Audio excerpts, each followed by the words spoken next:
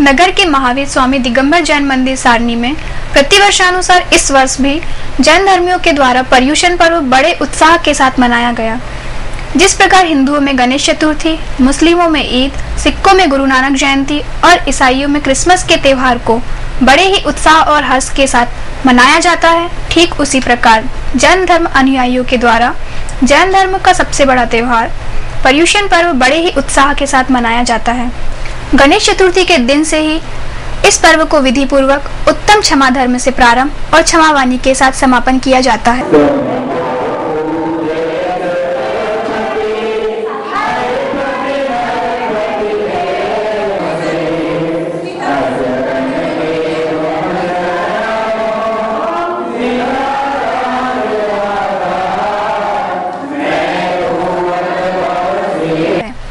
यह पर्व 11 दिनों का 11 लक्षणों पर आधारित होता है।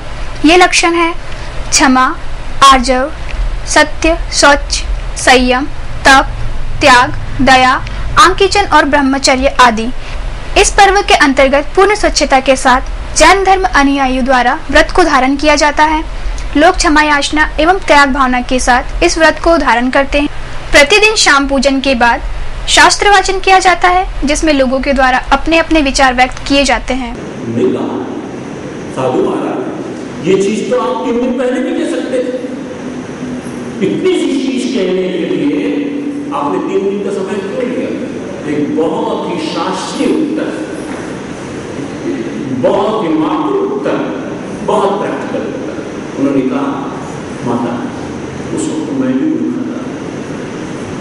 ये जो तीन दिन है, उन तीन दिनों में मैंने छोड़ा। तत्पश्चात भजन कीर्तन किया जाता है।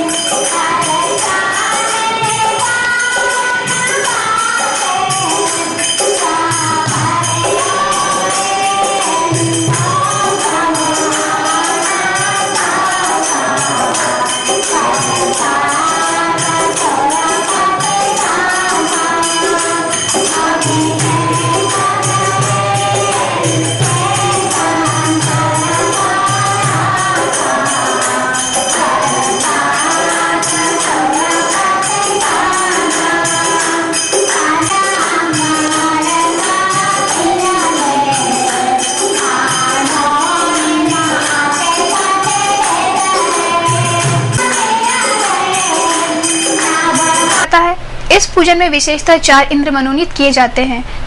इस व्रत को लोग अपनी स्वेच्छा से बिना अन्य जल ग्रहण किए भी करते हैं। इस व्रत को करने का मुख्य उद्देश्य स्वयं को पापों से मुक्ति दिलाना और अनजाने में हुई भूल या अन्य त्रुटि हेतु एक दूसरे से क्षमा याचना करना है।